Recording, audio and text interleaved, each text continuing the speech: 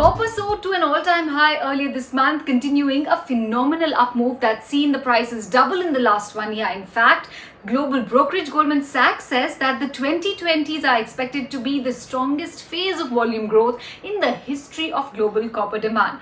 Copper's previous record run happened uh, all the way back in 2011 around the peak of the commodities upcycle which was led by China's rise to economic heavyweight status fueled by massive amounts of raw material.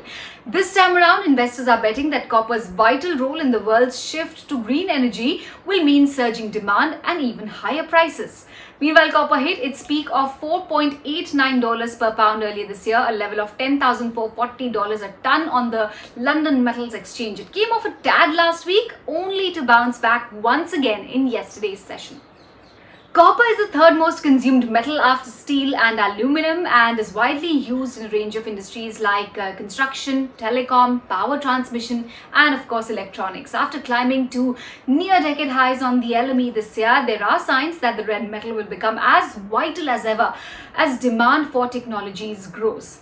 Even Indian companies stocks for that matter, if you look at a Hindalco, a Hindustan Copper, even a Vedanta, all of them gained 5% each. They've been in the limelight on the back of this fabulous rally that we've seen in copper prices. If you look at it, the copper rally essentially began after China's unprecedented steps to control the domestic spread of COVID-19 started yielding results last year. Copper rapidly rebounded. China's super fast recovery, the demand growth along with the country's new steel supply reform, which cuts output and discourages exports. These are the factors factors which aided the uptick initially. But it's not just China driving the rally. The surge can be partly attributed to the evidence of recovery in other major industrial economies with manufacturing output surging in places, whether it's the US, Germany, Japan, etc. Supply disruptions in mine worldwide has also pushed up the prices. In fact, yesterday we saw copper rebound after its first weekly loss in the last six weeks, lifted by concerns of supply disruptions in Chile.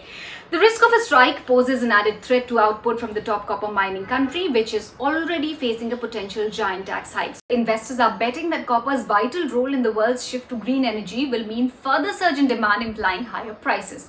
Now, Goldman Sachs has argued that moving the global economy toward net zero emissions remains a core driver for the structural bull market in the commodities uh, segment for commodities demand, in which green metals copper in particular will be very critical.